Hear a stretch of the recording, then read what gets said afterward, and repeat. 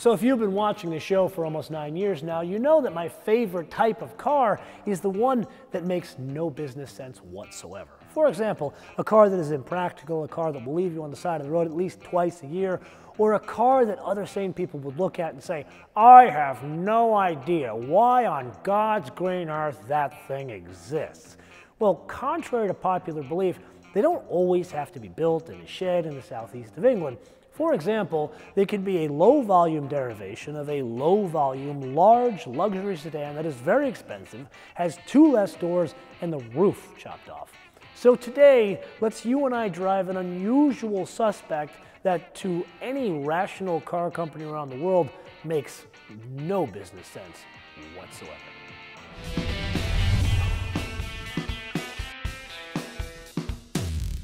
Okay, so I am well aware that you have seen this car before in the S63 episode, but now let's focus back on this engine to understand the similarities as well as the differences between what motivates an S560 and an S63. Let's start with the similarities. First and foremost is the size.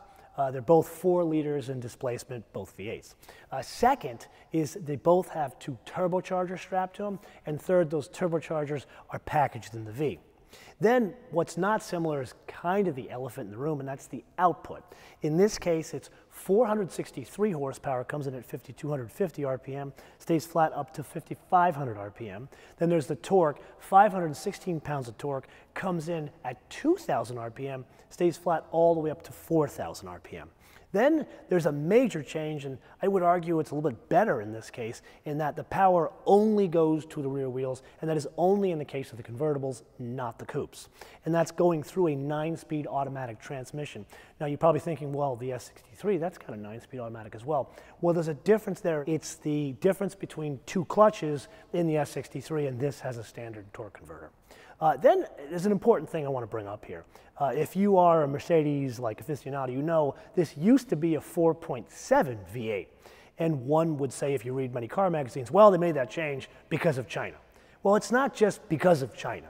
It's because of many tax schemes around the world, probably manufacturing as well, but we're going to put that aside.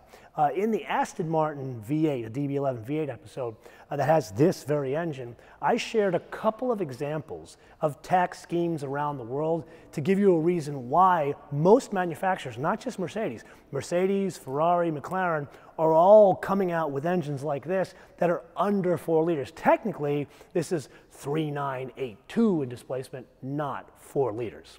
So go and take a look at that. And oh, by the way, one of you guys, one of the viewers from Turkey, and you guys know I love going through Istanbul on my European trips, so you should be following me on Instagram so you can see some great pictures from Istanbul. Anyway, one of the viewers, he shared the ridiculous tax scheme in Turkey, and now I understand why I see nothing but crappy old Fiats on the road there. Okay, so welcome to one of the most stunning views in all of Los Angeles. High atop the Palos Verdes Peninsula, you can see over to the Santa Monica Mountains, downtown Los Angeles, over there, into Hollywood, Santa Monica. It's one of the most pretty places to hike also one of the most pretty places to live. And this is absolutely one of the spots you would find a car like this. So with that, let's take somewhat of a leisurely drive in the natural habitat of most S560s, especially a convertible S560. Okay, now that we're at the bottom of the hill here, let's put our foot into it. We got a bit of an elevation change, but not too much because this is a nice neighborhood and there's plenty of power. Remember, this is power only going to the rear wheels, and it's not the S63, but it, you know it's it's still a fast car. That's the very funny thing about it. Even only at four, only 463 horsepower, put our foot into it with somewhat of a steep hill. There's no hesitation whatsoever to the point where you can make very quick work of some traffic. Like we got a slow moving pickup truck in the left lane, so let's pass him, put our foot into it on an elevation change with a nice turn here. But what's incredibly important to understand as we get back to the top of the hill here, the power comes in at any point in the power band. So it's not like there's peaks and valleys with the two turbochargers. It's tuned to deliver power, I'd say under about 2,000 RPM. Like here we are coasting at about 50 miles an hour. I want to pass these cyclists here because they've been rude all morning. And it barely has to go over 2,000 RPM to pick up a good amount of speed. Now, granted, on the freeway or in the canyons, it would be something different, but I would argue this is not the kind of car we're going to bring to the canyons.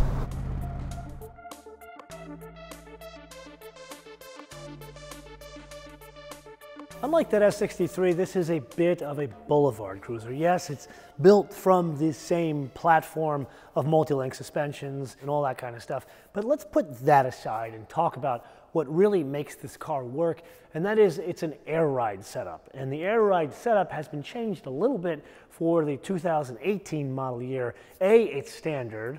Uh, B, it does more. There is curve control in the convertibles in the US now. Uh, and then C, the wheels are a bit smaller than were on that S63. It's an 18 inch wheel as opposed to a 20 inch wheel. So this is a bit more supple in the way it drives. And at the end of the day, it's going to be something you're going to see in Beverly Hills or the King's Road or basically, well, the King's Road, it's going to be a very nice day. So very rare days you would see this on the King's Road. Anyway, I digress. Let's take it out to California roads and see how it works.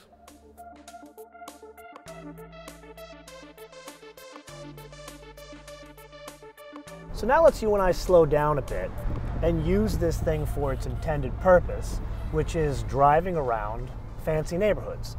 Doesn't really get much fancier than this. And there's some little twists, turns here. We're not gonna go too fast. Uh, right now I've got it in my individual mode, which is economy on the engine and full fat sport on everything else. Okay, so we have a perfect use case here. I get to the bottom of the hill, nice little uphill turn, let it coast a bit to the bottom, put our foot into it, no brakes. Please don't try this at home. And there's a, there's a slight lean over there. It's composed, but a slight lean. Okay, so as the road gets tighter, it's something really important to understand. And this is not just driving this thing today, but the time I've had with it over the past week. You get in this thing, especially after an S63 or an M5, it has a completely different personality. It may be almost that powerful, but that's a bit misleading because the personality of this thing is one of more comfort, even in its most sport, sport plus setting. That's the takeaway. You and I are at the point where we need to just dispense with our usual exercise of how does it drive, or look at that technical engine, or the bits that make up the driving dynamics. That's not what this thing is about. This is exquisite to behold. And I don't mean for the usual reasons like build quality. It's how this very car here is presented. I would not be the first one to select white on white, but at least when it's new, it works and works ridiculously well. Like, for example, the white seats with the contrasting piping and the contrast stitching, and then two tone interior with the blue door panels, blue carpeting, and the burled walnut wood dash. Then the Burmester speaker grills that have been pilfered from the sedan, but not just like straight from there to here. They've been adapted for this specific application to work in conjunction with the seatbelt presenters and then add to the tonneau cover as some pageantry of display of color and jewelry. I know I sound like I'm a, a wedding planner the way I'm presenting this thing, but look, even the leading edge of the A pillar looks like it's something to behold. I, I, I think I need some time alone with this thing because it's, it's not just all of the bits I just pointed out. This very car here has a ridiculous amount of options and not just the design, you know, interior. It has the heads up display it has night vision, which I love me some night vision, because who doesn't want military technology in their Palm Beach car? And then last but not least, Swarovski crystal headlights. And it's not just the headlights that change. When one of these is outfitted with Swarovski crystal headlights, the door to the front cup holders has a crystal handle.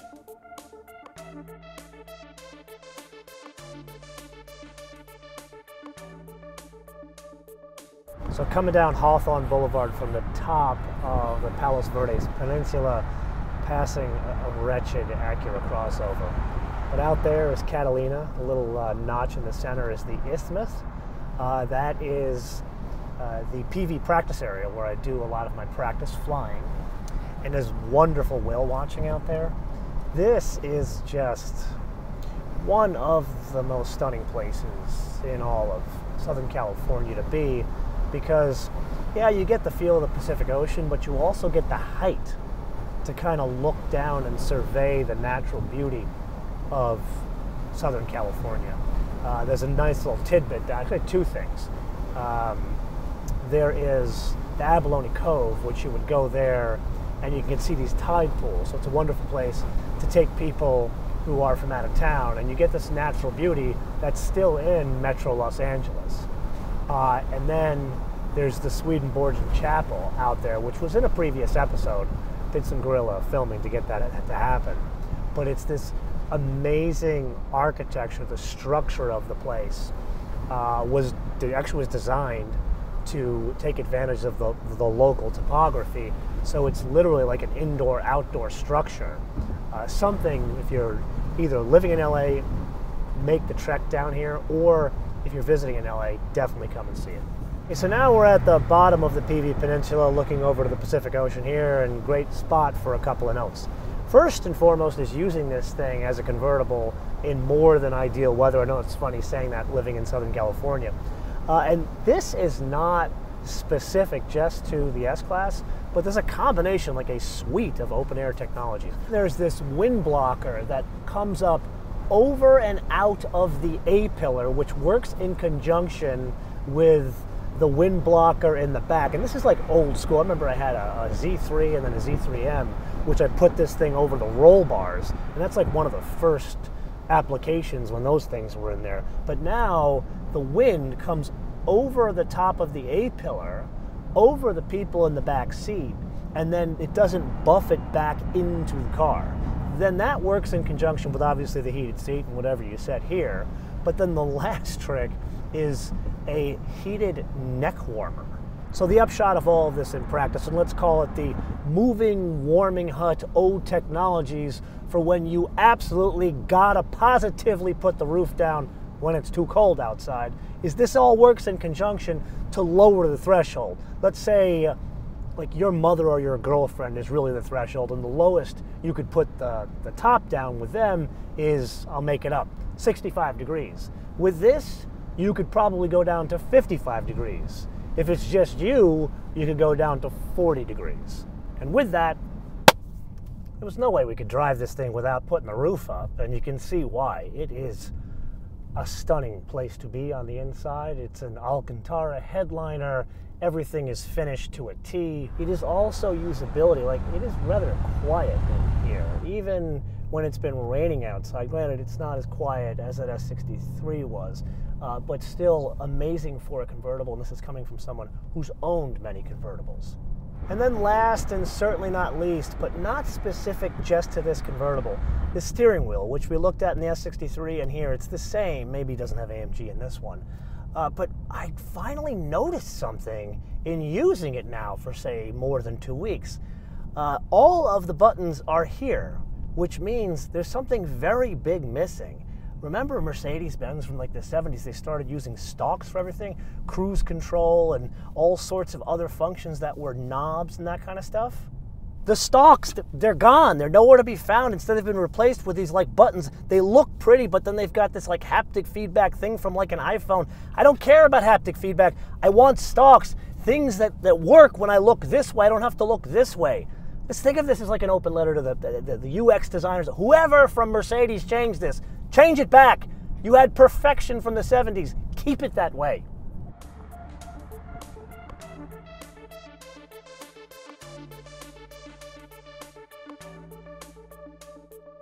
So I have this theory about the folks from Stuttgart. They've always had this reputation for utility, dependability, and engineered to a standard. But when the roof got chopped off, those all kind of didn't go out the window, but they became secondary to something far more important, and that is artistry. Enter Exhibit A.